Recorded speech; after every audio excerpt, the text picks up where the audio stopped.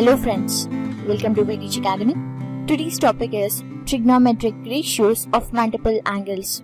So in order to derive the formula for cot 2a, we will use the formula of compound angle which is cot a plus b is equal to cot a cot b minus 1 divided by cot b plus cot a. So here we can derive the formula for cot 2a which is nothing but cot a plus a which is in the form of cot a plus b. So here by replacing b by a in the formula, we can write this as cot a into cot a minus 1 divided by cot a plus cot a. So that implies we get here cot a into cot a which is cot square a minus 1 divided by cot a plus cot a which is 2 cot a.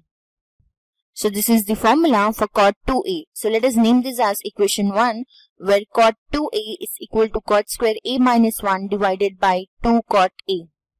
And now let us proceed and derive the formula that is cot 3a. So first, in order to derive, let us consider that 3a is not a multiple of pi. And then cot 3a can also be written as the reciprocal of the formula of tan 3a that is 1 by tan 3a which is equal to 1 minus 3 tan square a divided by 3 tan a minus tan cube a. And now we need the formula for cot 3a. So let us write this formula in terms of cot. So by writing in terms of cot, we get here 1 minus 3 into tan square a can be written as 1 by cot square a divided by 3 into tan a which can be written as 3 into 1 by cot a minus tan cube a can be written as 1 by cot a whole cube. So here by simplifying, we get here cot square a minus 3 divided by cot square a and then whole divided by here we get the LCM as cot cube a and in numerator we get 3 cot square a minus 1. And here by simplifying cot square a and cot square a in the denominators gets cancelled and we get cot square a minus 3 divided by 3 cot square a minus 1 divided by cot a. And now let us simplify here. So here we get cot square a minus 3 divided by the denominator which is 3 cot square a minus 1 and here this cot A becomes the reciprocal when it gets multiplied. So here we get into cot A by 1. And now let us multiply. So here by multiplying we get cot A into the numerator which is cot square A minus 3 divided by 1 into 3 cot square A minus 1 which is nothing but 3 cot square A minus 1. And now let us multiply cot A with the group.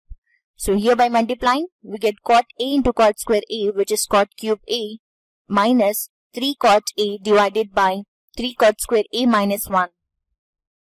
And now let us take minus as the common factor. We get here minus of 3 cot A minus cot cube A divided by minus of 1 minus 3 cot square A. And here minus in the numerator as well as in the denominator gets cancelled so we get the formula of cot 3a as 3 cot a minus cot cube a divided by 1 minus 3 cot square a. So let us name this equation as equation 2.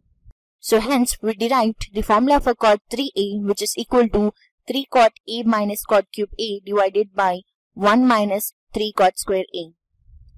Hope you understood the concept. Do like and subscribe to weteachacademy.com. Thanks for watching. Have a nice day.